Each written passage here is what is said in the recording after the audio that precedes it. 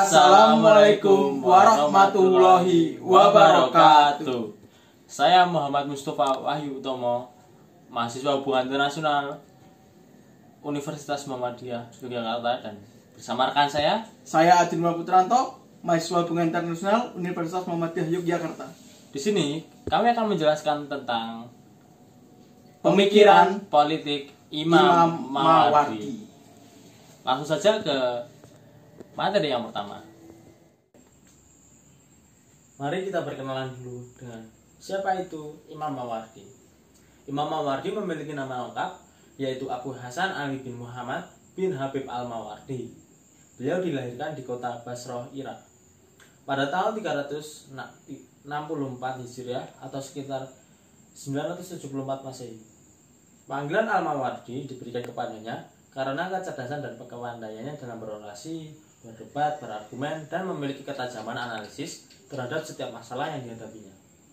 Al-Mawardi juga dikenal sebagai duta diplomatis di antara para penguasa Buhai di satu sisi dan kafilah-kafilah Abbasiyah di sisi lain. Terlebih lagi dengan kafilah Al-Qadir Bila. Tujuan diplomasinya adalah untuk kembali mengharmoniskan hubungan politik antara penguasa-penguasa pada zaman itu yang dulunya hanya mencari solusi dengan pertumpahan darah. Materi selanjutnya bersama dengan teman saya. Sekarang kita akan mempelajari tentang pokok-pokok pemikiran politik dan pemerintahan Islam dalam pandangan Al-Mawardi. Pertama, konsep sebuah kenegaraan. Dalam pandangan Al-Mawardi, politik negara memerlukan enam sendi utama, yaitu agama yang dianut dan dihay- dihayati sebagai kekuatan moral. Yang kedua, ada penguasa yang harismatik, berwibawa, dan dijadikan teladan. Yang ketiga, ada keadilan yang menyeluruh. Yang keempat, ada kesuburan bumi, ada harapan yang harapan keberlangsungan hidup, dan yang terakhir ada keamanan yang merata. Lalu menurut Imam Mawardi ada sistem pemerintahan. Sistem pemerintahan menurut Imam Mawardi didasari oleh teori politik atas dasar kenyataan yang ada. Kemudian secara realistis menawarkan saran-saran dan perbaikan atau reformasi seperti mempertahankan status quo. Lalu ada konsep imamah. Menurut Al-Mawardi, konsep imamah adalah jabatan politis keagamaan. Imam merupakan pengganti nabi yang bertugas menegakkan agama dan mengatur politik Islam. Dengan demikian, konteks pemimpin menurutnya adalah pemimpin negara atau politik dan pemimpin agama. Sedangkan dasar-dasar imamah Al-Mawardi melakukan dengan cara majelis syuro atau pemufakatan dan bayat atau persetujuan. Lalu ada teori kontrak sosial. Dalam teori ini memperjelas pentingnya hubungan antara ahlul akdi wal hal atau ahlul ikhtiar dengan imam atau kepala negara merupakan hubungan antara kedua belah pihak pihak peserta kontrak sosial atau perjanjian atas dasar sukarela satu kontak atau persetujuan yang melahirkan kewajiban dan hak bagi kedua belah pihak atas dasar timbal balik. Lalu yang terakhir ada mekanisme pemilihan dan penga- dan pengangkatan imam.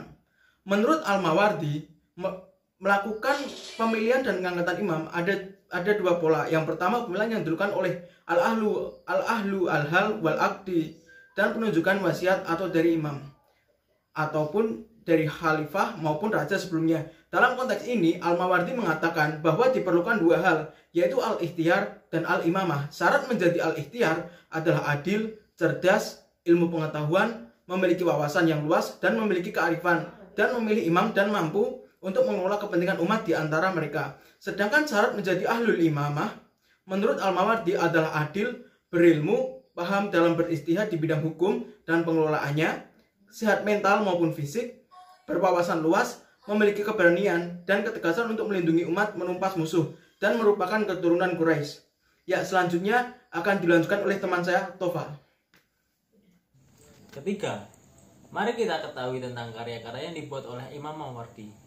Karena Al-Mawardi termasuk penulis yang produktif.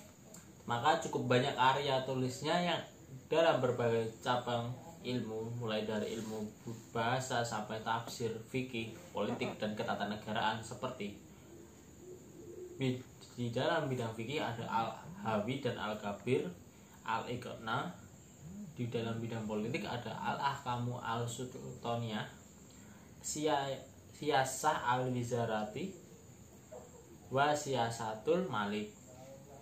dan ada tasyilu anazari wa tajli wa takjilu azafari fi akhlakil malik wa siyasatu al malik siasa al maliki dan yang terakhir nasihatul muluk dalam bidang tafsir al marwadi uh, menciptakan tafsir uh, uh, karyanya dalam tafsir Al-Qur'anul Karim An-Nukatu wa Al-Uyunu Al-Amsal wa Al-Hikam.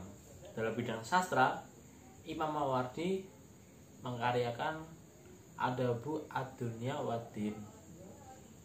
dalam bidang akidah ada A'lamu An-Nubuah uh, mungkin itu saja yang dapat saya sampaikan dalam kesempatan ini saya harap video ini dapat memberikan manfaat. Saya ucapkan terima kasih sebanyak-banyaknya karena telah menonton video ini. Kurang lebihnya saya mohon maaf.